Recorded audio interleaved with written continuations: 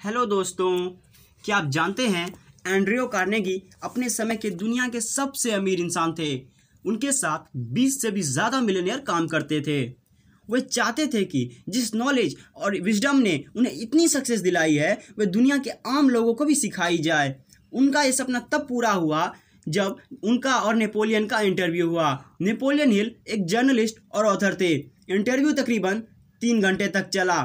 Interview के ख़त्म होने के बाद कार्नेगी ने नेपोलियन के सामने एक ऑफ़र रखा। ऑफ़र ये था कि तुम एक ऐसी बुक रेडी करो जिसके अंदर दुनिया के सबसे अमीर और सक्सेसफुल लोगों की नॉलेज और विजडम हो।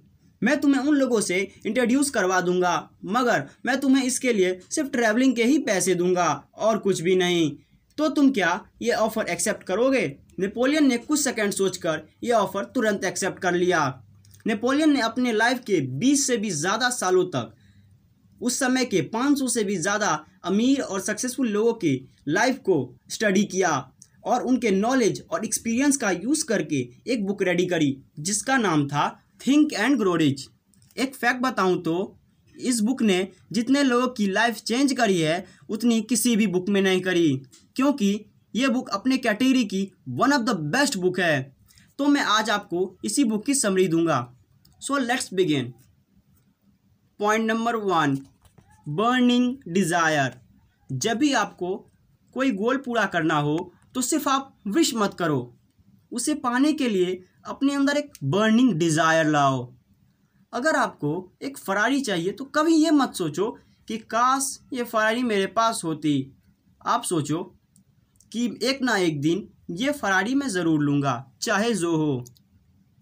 किसी भी गोल को पूरा करने के लिए आप में बर्निंग डिज़ायर होना बहुत ज़रूरी है।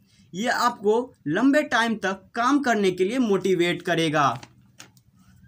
Step one fix the amount of money you want अपने दिमाग में उतने पैसे की अमाउंट की सोचो जो आप कमाना चाहते हो। कितना पैसा कमाना है? कभी ये मत सोचो कि आपको बहुत सारा पैसा कमाना है।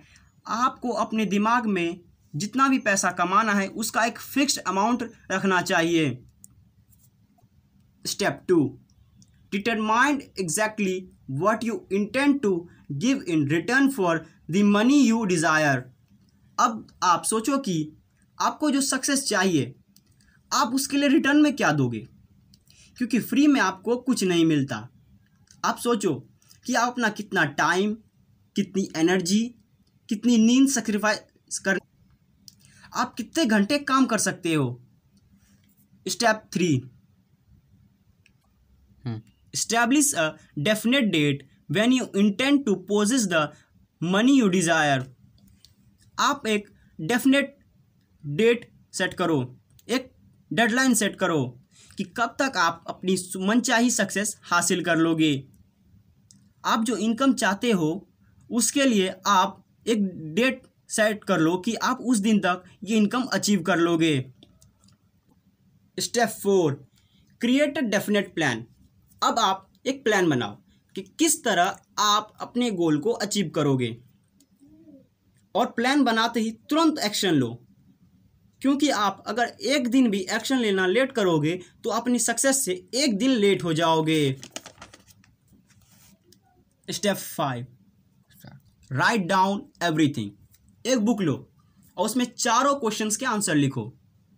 तुरंत लिखो, क्योंकि ऐसा करने से आप तुरंत मोटिवेटेड फील करोगे और आपको एक्शन लेने में ज़्यादा आसानी होगी। Step six write it daily अभी तक आपने जो कुछ भी लिखा, उसे दिन में दो बार देखो और ज़ोर से पढ़ो, ताकि वह सारी बातें आपके सबकॉन्शियस माइंड में बैठ जाएँ और आप हमेशा एनर्जेटिक मोटिवेटेड फील करो। तो दोस्तों, मैंने आपको ये सारी बातें आज की book think and grow rich से बताई है। मैंने आपको इस बुक की सिर्फ़ अभी तक एक ही पॉइंट बताया है। बाकी सारे पॉइंट्स मैं आपके साथ अगले पार्ट में शेयर करूँगा। Thanks for watching my channel please subscribe please like and share and comment में आप ज़रूर बताएँ कि आपको कैसा लगा।